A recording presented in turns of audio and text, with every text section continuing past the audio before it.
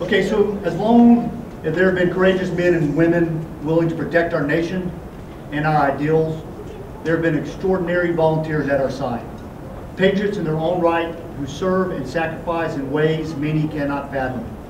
Their moms, their dads, their sons, their daughters, who take up the work of two during deployments, shuffling their careers and packing up their lives whenever our nation calls.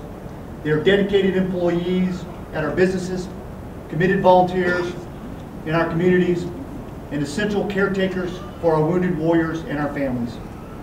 Volunteers are at the core of the Highlander Brigade, and today we celebrate their contributions to keeping our country safe. Just as we are bound by sacred obligation to care for our men and women in uniform, we are e- equally responsible for making sure our volunteers get the support and recognition they deserve. I voluntarily chose to serve my nation, protecting and defending the Constitution of the United States against all enemies, foreign and domestic. However, the volunteers recognized here today had no choice. While I chose the military lifestyle, they were born or married into it.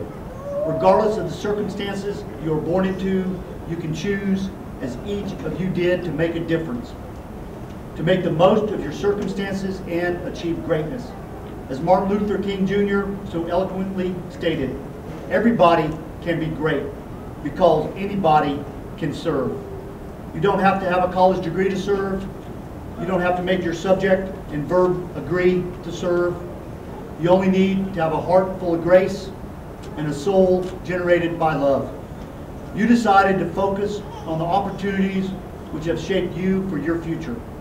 You see the world like every volunteer through a different lens, a lens that speaks to selfless service. Woodrow Wilson said that there is no higher religion than human service. To work for the common good is the greatest creed. A volunteer has a very astute understanding of what sacrifice means. You realize the importance of providing opportunities to those less fortunate, and because of the challenges presented, you have vowed to ensure all people are treated fairly. These opportunities have created a resilient, well-rounded person who embraces service and is capable of adapting to and thriving in any situation.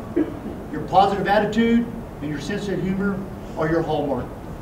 As a volunteer, you discovered early in life what many never come to realize that a positive attitude and a genuine enthusiasm not only fuel the individual, but they also inspire those around you. You are positive, you are passionate, and you lead with your heart. The Chief of Staff of the Army, General Raymond Odierno, often says, our nation is strong because of our Army, our Army is strong because of our soldiers, and our soldiers are strong because of our families. I would offer that the Highlanders are strong because of our volunteers. Thank you.